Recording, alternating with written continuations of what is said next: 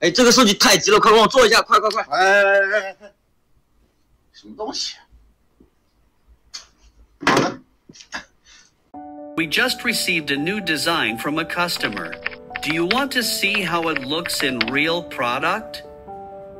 Alright. When I first got this design, I wanted to incorporate Chinese character elements into this ancient style design. So, the first thing I did was chose a red and black color scheme for the text. It makes it look sleek. Plus, I added some bold outlines to the font to make it pop a bit more. This really helps the text stand out. Once the design was finalized, I made it on a mock-up. The customer wanted the colors to be more vibrant, so I added a splash of blue. It made the product feel fresher and more dynamic.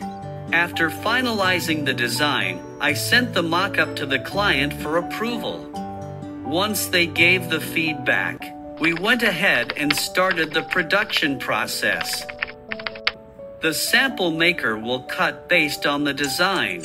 If you need the pattern file for this bag, just leave a comment below the video. Sewing is a very detailed process. Every detail needs to be handled with care. Our craftsmen will attach the handles and the bottom together and reinforce the bottom to make it sturdier. This ensures the bag holds its shape perfectly. The design details are spot on, and the quality is great. We've met all the client's requirements, and every part of this bag is full of creativity. Do you like this design?